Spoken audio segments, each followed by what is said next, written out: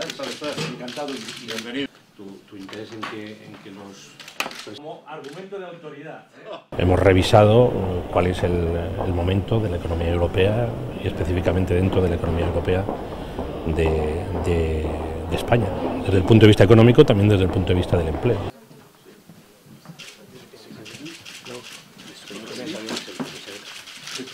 Muchísimas gracias. Y así le hago susurrada para no perder más tiempo, si no tengo que... Está muy bien, muy fuerte. Oh, no, no, no. We shouldn't start probably with... But uh, yesterday... Tonight I know, yeah.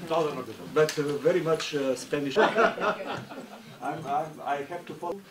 Uh, the other with the Portuguese team. Las consecuencias, eh, desde nuestro punto de vista, eh, absolutamente eh, irreparables, que tendría una decisión irrevocable e inmediata de cierre de esa última explotación que queda abierta. Estamos hablando nada más y nada menos que en una comarca mm, muy eh, limítrofe de la, de la comunidad autónoma de Castilla y León de eh, 2.000, eh, casi 2.000 empleos directos o indirectos afectados, que representan el 60% de la población activa de la zona y una parte muy importante de los 11.000 vecinos.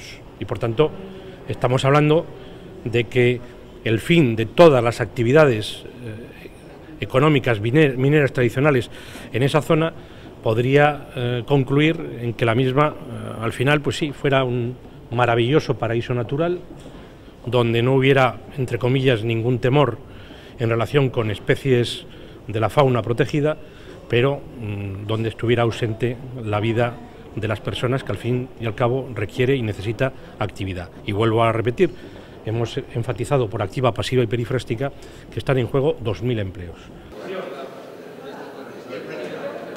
muy serio. Sí, sí, para hacernos muy serio.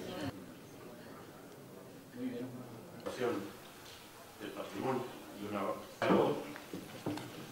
para el trabajo en eh, lo más profundo de, de Castilla y León.